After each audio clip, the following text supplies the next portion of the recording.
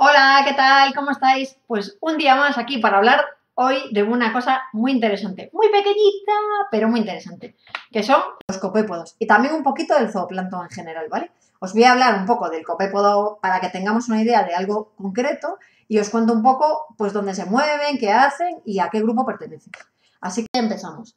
Esta es la imagen de un copépodo. Lo que más llama la atención, si os podéis eh, fijar en esta fotografía, son esas antenas larguísimas que parecen unas, sí, eso es, unos remos y esos eh, cercos finales del cuerpo, ¿veis? Al final del cuerpo, en el extremo posterior, hay unos pequeños cercos. Bueno, y luego tienen como una especie de barbitas así que se pueden ver y su cuerpo es transparente.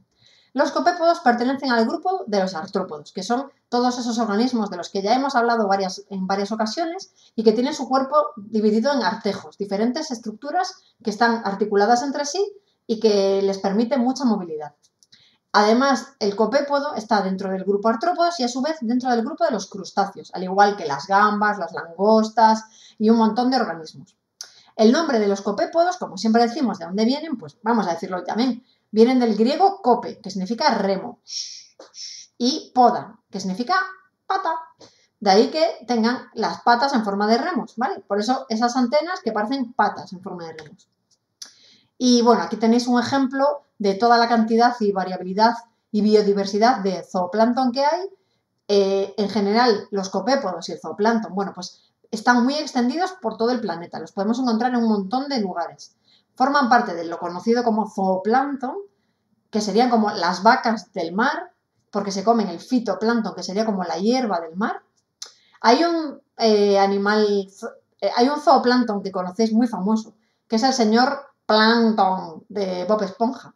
Bueno, pues el señor Plankton es, es, un zooplancton, es, es, un señor copépodo.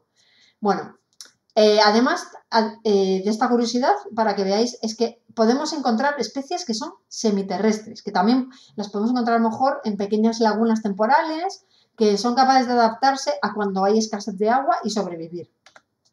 Y en general ellos viven en zonas, eh, ecosistemas de agua dulce, de agua salobre y salada, y en las aguas antárticas también.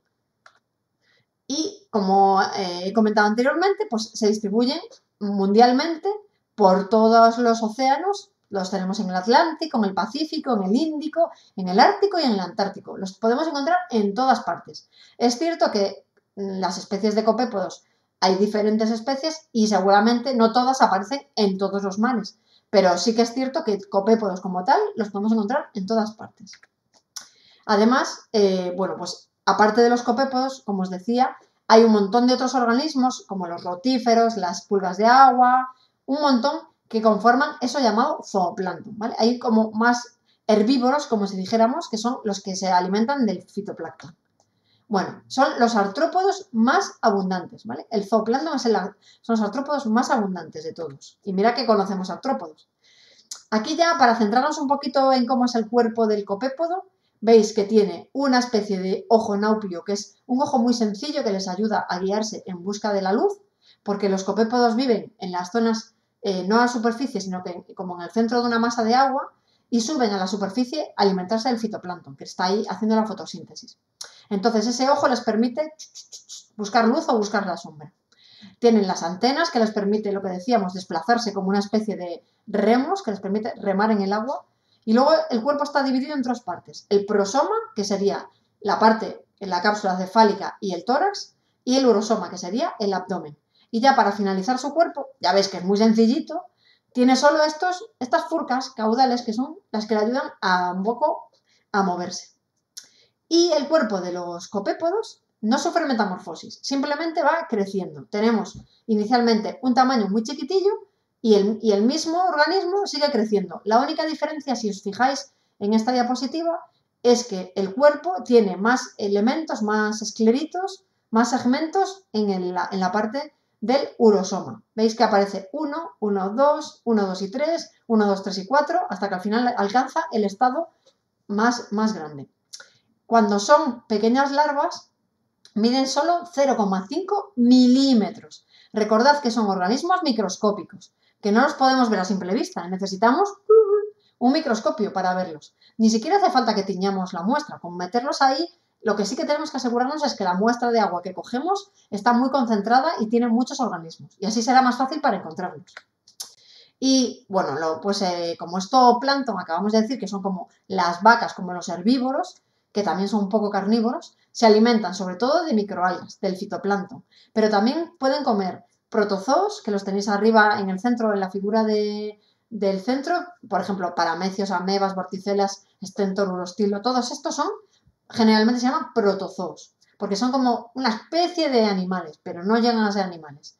Y también se suelen comer larvas de peces, como las que tenéis aquí abajo, alevines, y también comen algunos pequeños invertebrados acuáticos de pequeño tamaño, claro, porque fijaros que el tamaño del copépode hemos dicho que era milímetros, ¿vale? Pues lo que pueda, de lo que puedan alimentarse. Y además son capaces de dejar huella fósil. Se han encontrado fósiles de los copépodos. ¿Sabéis por qué es capaz de dejar huella el copépodo? Porque algo muy importante para ser fósil es tener un esqueleto.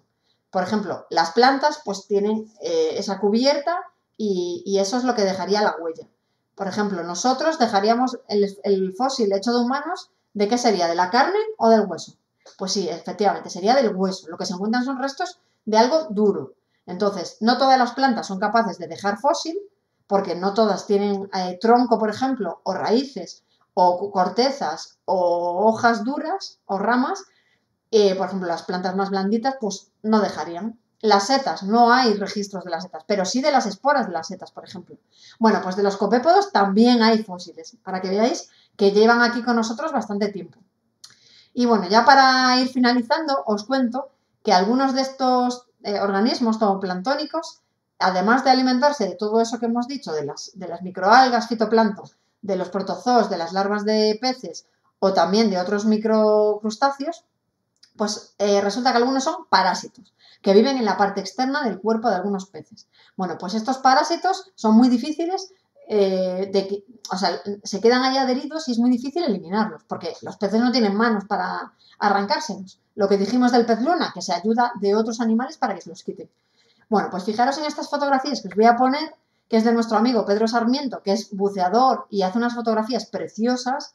Aquí tenéis uno en una catalufa que está el parásito eh, es un, tipo de zooplancton, aparece pegado a la cola, ¿veis? Ahí al, fondo. Este pequeño, este pequeño pececillo que es típico de Gran Canaria eh, aparece, tiene un, parásito aquí pegado justo en, la parte frontal. Y aquí veis un detalle con, mucha claridad, veis eh, la forma que tiene este pequeño parásito, esta este pequeño piojo, incluso eh, los ojos que tiene, que son ojos compuestos. Y veis que es un crustáceo porque tiene, es un artrópodo de un crustáceo y veis esa división del cuerpo, como la tiene en diferentes segmentos. Bueno, pues aquí os dejo un vídeo que os podéis descargar de YouTube que eh, aparece una pequeña Dafnia en la que se está moviendo al ritmo de la música de piano, en la que está tocando a la vez, acompasadamente, a la vez que se mueve. Esta es una pulga de agua y se está moviendo a la vez eh, las antenas, los ojos y su cuerpecillo con una música de piano que suena de fondo. Y ya para acabar, eh, bueno, pues eh, como os decía, los copépodos son algo muy importante en la estructura de la cadena trófica porque ellos son la base junto con el fitoplancton de la alimentación de peces, de mamíferos marinos y finalmente nuestra. Bueno, y aquí os dejo, como siempre, mi contacto por si me queréis escribir o comentar algo y la bibliografía que he utilizado y dar las gracias a todas las, a todas las webs que he podido sacar información. Y sobre todo a mi amigo Aldo, que me ha contado varias anécdotas curiosas de los copépodos. Así que aquí os dejo y nos vemos en la siguiente. ¡Hasta pronto!